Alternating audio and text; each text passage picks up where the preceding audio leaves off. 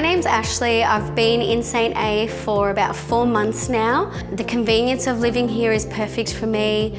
I am close to work. I'm right near the ring road and 20 minutes from the city.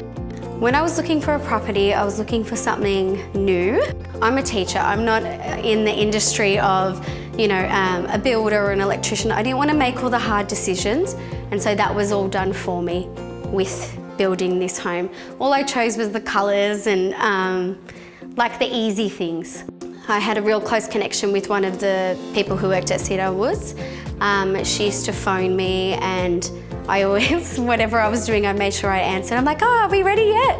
Um, and she was always available to me. Cedar Woods was quick to reply with email, by phone, and obviously I was on their homepage all the time and it was updated frequently. I would recommend Cedar Woods to a friend and I did. I recommended it to my sister who lives down the street. I've had, I had people over the other day who were like, oh Ash, I wish we got in sooner when you did and they're possibly looking into some of the other stages. I, I want everyone to come along and live in my neighbourhood.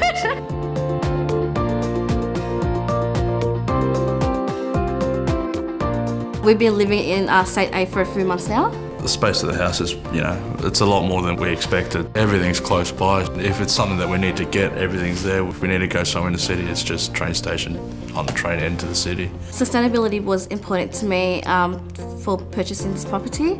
Um, it's also included like the solar heating for the water um, and also the water tank for the rainwater for the gardening. Buying a brand new house was an easier option than buying a second-hand house because everything is new from start to finish. Cedarwood kept me informed uh, of the process until settlement, so um, it was really good how, of how they communicated with us.